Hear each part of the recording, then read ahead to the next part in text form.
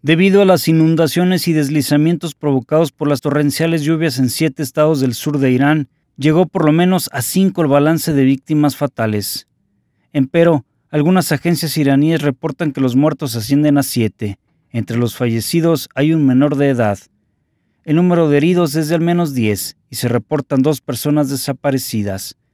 Las inundaciones también colapsaron las carreteras regionales.